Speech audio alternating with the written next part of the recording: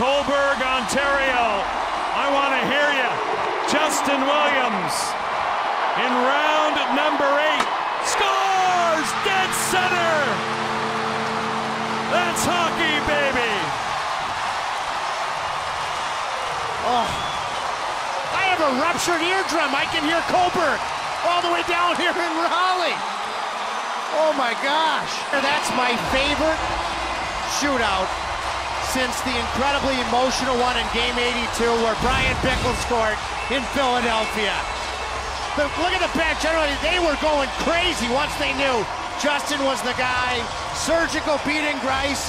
And now all the Caniacs get to see the guy that captained the Surge last year, his first Surge back on the ice. Military Appreciation Night.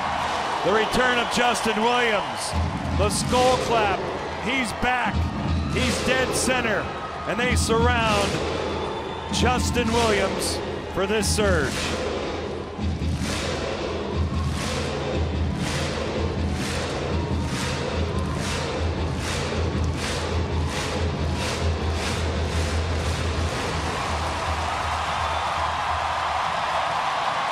Well done.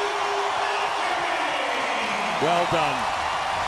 Well, That's a great one. uh, that was a great one.